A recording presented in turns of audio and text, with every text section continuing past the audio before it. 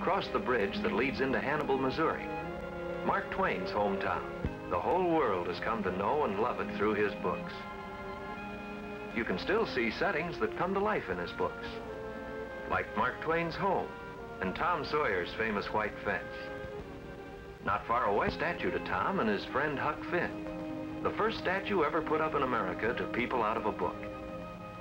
From there, we rolled across Missouri to Kansas City, where we saw one of the most beautiful war memorials in this country. From there, you get a fine view of the city itself.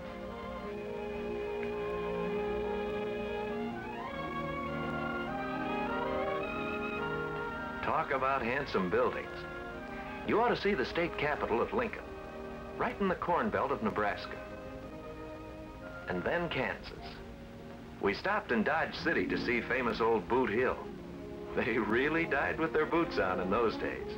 Nearby is a monument to the frontier days, a couple of longhorns, which reminded us how much progress we've made in beef cattle.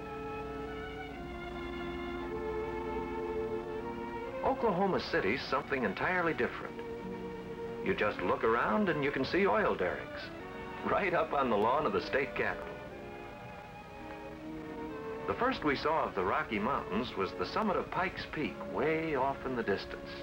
You don't realize how big this country is till you get around and see it. Then we left the plains and began climbing up into Rocky Mountain National Park.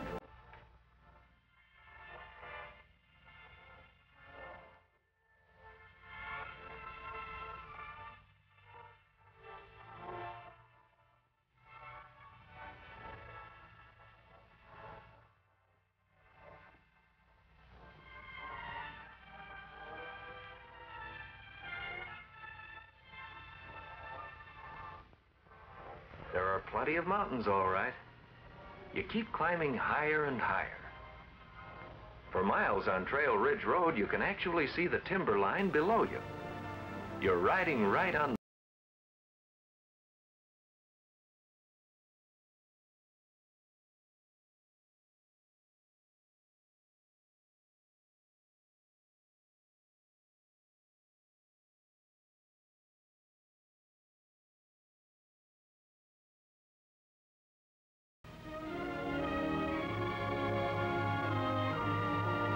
That scenery is so doggone beautiful, we just had to stop for a few days and soak it up.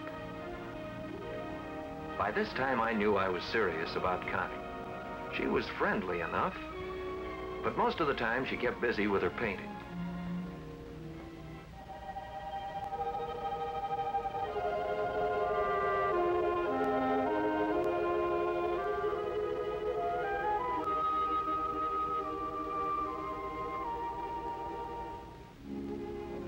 Will you tell me something?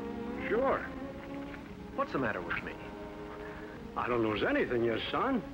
You got your heart set on getting over the other side of the ocean and covering the big stories, and of course you're thinking about Connie. I've been thinking a lot about Connie. What kind of a guy is this Ted Newell? Oh, Ted's all right. Kind of opinionated about some things, but he's solid. I see. Does Connie... Oh, I'm not taking any sides in this thing.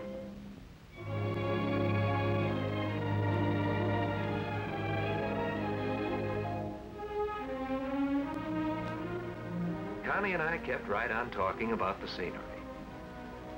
The falls on the Yellowstone River. And they are pretty spectacular.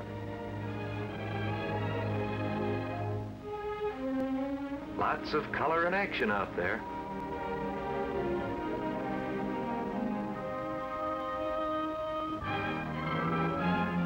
Right on schedule, Old Faithful blew her top.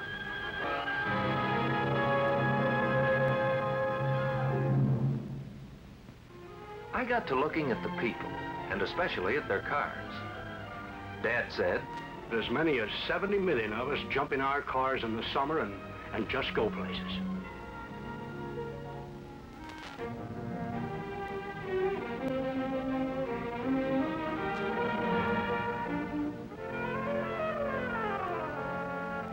Then we took a big swing through Montana. They say out here